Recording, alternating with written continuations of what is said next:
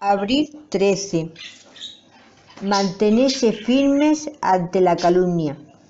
¿Acaso vine yo ahora a esta tierra para destruirla sin Jehová? Jehová me dijo, sube a esta tierra y destruyela. Isaías 36, 10. Lectura adicional recomendada, 2 Samuel 16, 5 al 14. Rabsaces, el comandante de los asirios, se jacta de la grandeza y el poder de su rey al objeto de aterrar a Ezequías. Así es como obran los malvados con nosotros. Nos atacan con amenazas y ponen a prueba nuestra paciencia con diversas intimidaciones.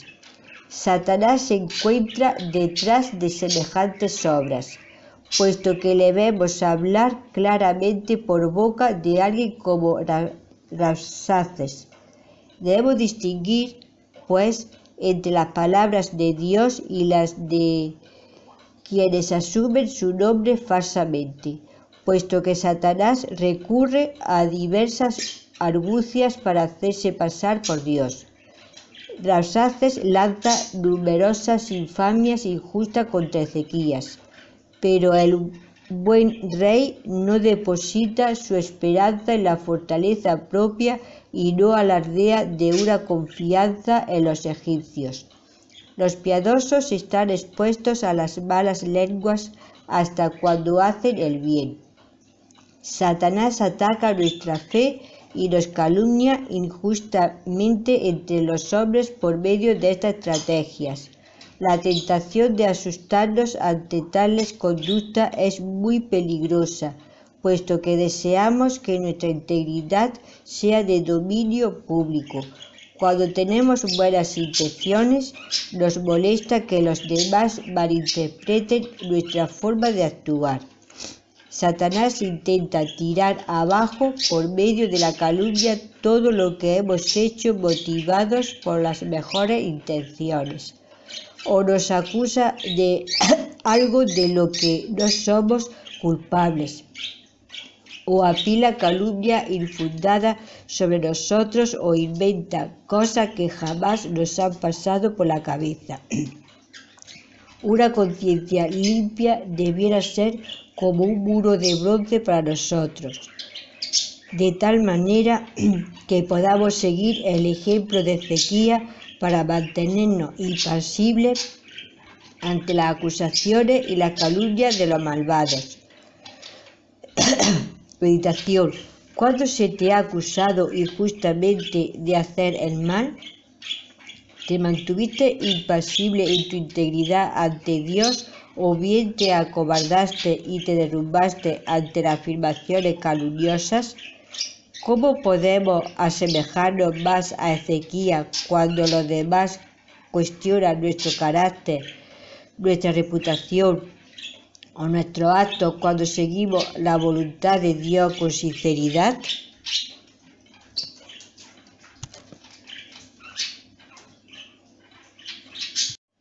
Abril 13.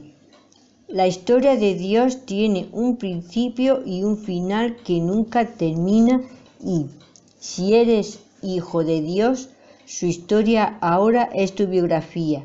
Vaya, qué maravilla. Probablemente eres como yo.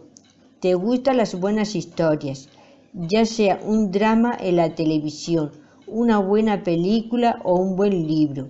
Todos estamos dispuestos a hacer fila con tal de conseguir una buena historia. Tal vez te encuentres sentado en un restaurante o alrededor de una fogata en algún campamento y tus amigos comienzan a relatar historias. Cada una parece mejor que la anterior. Parece un concurso. Parece que las personas están tratando de opacarse unos a otros. Entonces comienzas a buscar en tu catálogo mental alguna historia personal que pueda ser la ganadora del día.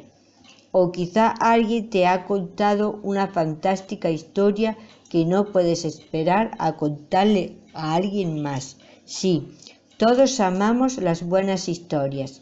Ahora, muchas de las buenas historias son buenas debido a que a través de sus numerosos personajes, relaciones, situaciones o lugares, te lleva a un final increíble.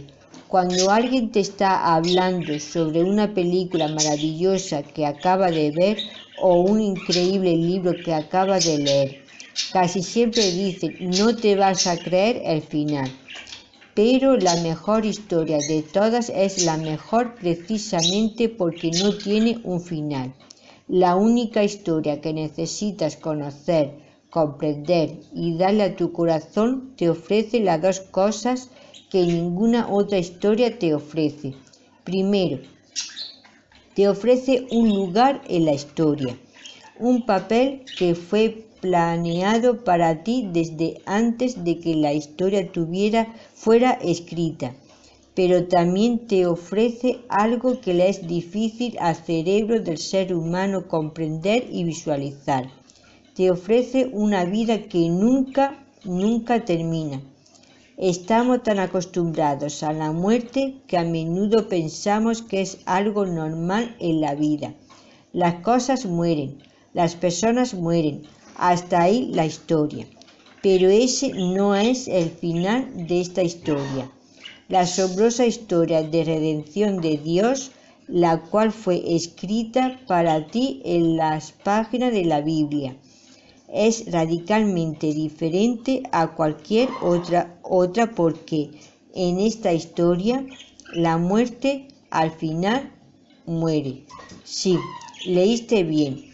El personaje principal de la historia de Dios vino al mundo a derrotar al pecado y a la muerte y, gracias a esto, Él nos ofrece algo que ningún otro personaje de alguna otra historia puede ofrecernos.